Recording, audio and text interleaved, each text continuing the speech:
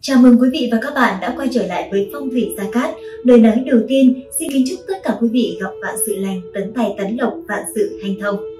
Quý vị thân mến, trong số 12 con giáp con chuột là con vật được tiên phong dẫn đầu. Bởi vậy những người thuộc tuổi chuột này thường có tài năng lãnh đạo và quản lý rất tốt. Trong tháng 8, khẳng định sẽ chính là thời điểm cực kỳ thành công của bạn. Chắc chắn bạn sẽ nhận được những thành quả như ý. Về mặt kinh tế tốt, tuổi mậu tí là người giỏi kiếm tiền nên không cần phải lo lắng bất cứ một điều gì. Cứ tiếp tục làm việc chăm chỉ chịu khó thì nhất định trong tháng 8 này không những tiền đề túi mà công danh sự nghiệp cũng vớt lên như là diều gặp gió. Và xin mời tất cả quý vị chúng ta hãy cùng theo dõi video để nắm bắt được vận trình của mình trong tháng 8 âm lịch này quý vị nhé. Xin mời. Sau đây là phần tổng quan của các quý vị gia chủ tuổi Mậu Tý, sinh năm 1948 trong tháng 8 âm lịch năm 2022. Thưa các bạn, gia chủ sinh năm 1948 Mậu Tý, thường gọi là tuổi chuột, có ngũ hành bản mệnh phích lịch hỏa, tức là lửa sấm sét. Thiên định, người tuổi Mậu Tý bản tính hiền lành chất phác, được mọi người yêu mến và quý trọng. Tuổi Mậu Tý thông minh, thành thạo nhiều thứ, trí thú.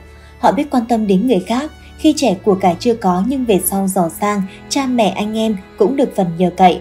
Họ làm gì cũng tính toán cẩn trọng trước khi quyết định, bởi vậy nên luôn chọn cách tốt nhất và khi gặp tình huống nguy hiểm họ đều có lối thoát tối ưu. Người tuổi này ít biểu lộ tình cảm ra mặt, khi đã ưu ái ai thì người đó được họ đánh giá cao. Đặc điểm của cả nam và nữ tuổi này là đều rất tiết kiệm, Người tuổi Tý là thiên quý tinh, vốn thông minh, lanh lợi, giao thiệp rộng, có tham vọng nên sẽ gặt hái được những thành tựu nhất định thời son trẻ. Tuy vậy, họ lại hay ỉ lại vào bản tính lanh lẹ của mình nên rất ngạo mạn, coi mình là nhất, đôi khi tỏ ra thái độ khinh khỉnh, coi thường người khác. Bên cạnh đó, tính cách cố chấp cũng gây ra những lận đận sóng gió trong cuộc đời của những người tuổi Mậu Tý sinh năm 1948. Tháng này bản mệnh không có quá nhiều may mắn, công việc của bản thân gặp một số vấn đề rắc rối biến động. Thời tiết thay đổi khiến sức khỏe của gia chủ ảnh hưởng đáng kể. Các căn bệnh tuổi già được dịp tái phát. Thời gian này, bạn luôn gặp những rắc rối với người bạn đời, người thân của mình. Mâu thuẫn xuất phát từ những lý do rất nhỏ nhặt khiến bạn mệt mỏi nên đứng vào vị trí của nhau để nhìn nhận, thông cảm và thấu hiểu cho nhau. Xét về thiên can, mậu dương thổ gặp kỷ âm thổ nên gọi là kiếp tài, nghĩa là ngang bằng với bản thân. Đối với các quý vị gia chủ mậu tý trong tháng này nên chú ý nhiều về những mối quan hệ thân thiết xung quanh mình, nên có những cách ứng xử hợp lý để giải quyết, tránh xung đột, gây ảnh hưởng tới tình cảm gia đình. Thứ nhất, về sự nghiệp quan vận. Nếu vẫn đang đi làm, sự nghiệp trong tháng này có nhiều biến động, dễ vấp phải đủ loại trở lực hoặc bị người khác gây khó dễ bất hợp tác, hơn nữa nếu không kiểm soát cảm xúc của mình, bạn rất dễ để cảm xúc dẫn lối mà bỏ qua việc dùng lý trí để suy xét mọi việc. Ở tuổi này, chắc hẳn chính gia chủ cũng không hề mong muốn xảy ra tranh chấp, cãi cọ, đấu tố, nên nếu có thể, hãy chủ động tránh những rắc rối không đáng có, nhớ rằng dĩ hòa vi quý.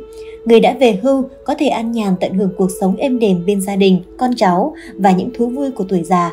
Trong tháng sẽ phát sinh những vấn đề cần làm việc với cơ quan hành pháp, nhìn chung sẽ được tiến hành thuận lợi.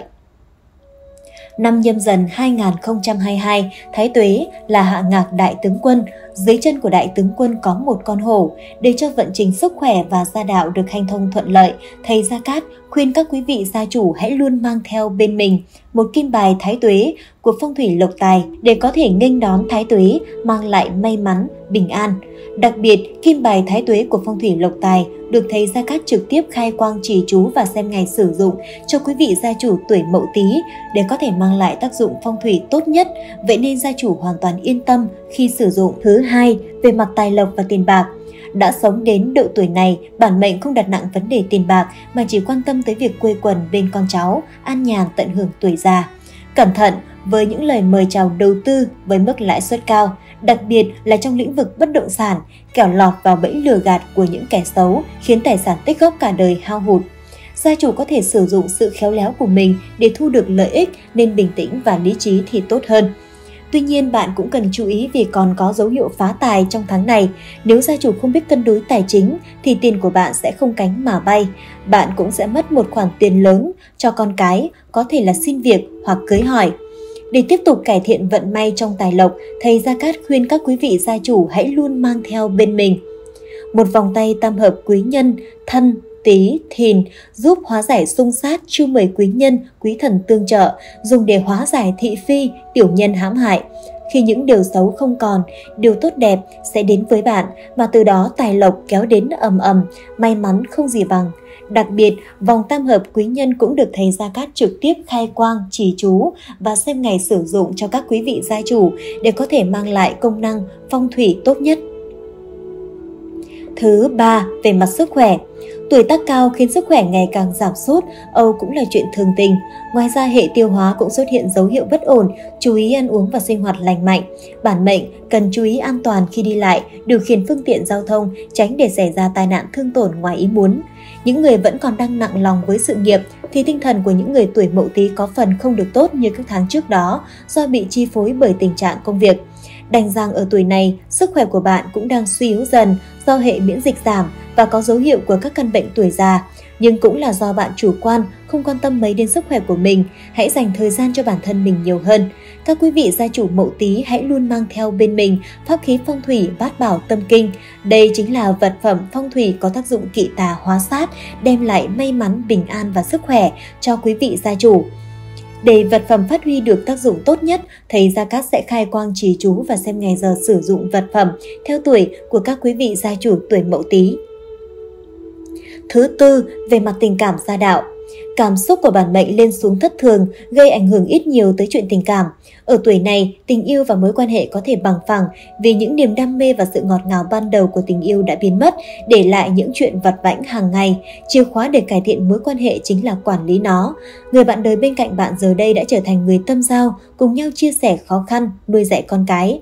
Các bạn đã bên nhau nửa đời người, đủ hiểu được cái gì cần thiết với gia đình của mình. Bên cạnh đó, bạn cũng cần lắng nghe tâm tư của vợ chồng mình để cải thiện mối quan hệ cả hai tốt hơn. Mối quan hệ với con cái có phần hanh thông, tình cảm hơn. Những người con của bạn đã trưởng thành, đã biết tự lo lắng cho bản thân và gia đình riêng. Cuối tuần gia đình thường có những buổi tụ tập chung, cũng là một cách để giảm căng thẳng giữa bạn cùng với người bạn đời và những không khí của các thành viên trong gia đình.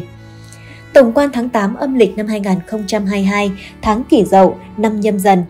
Tháng 8 âm lịch được bắt đầu từ ngày âm lịch từ 1 tháng 8 năm 2022 và kết thúc vào ngày 30 tháng 8 năm 2022, tức ngày 27 tháng 8 năm 2022 đến 25 tháng 9 năm 2022 dương lịch.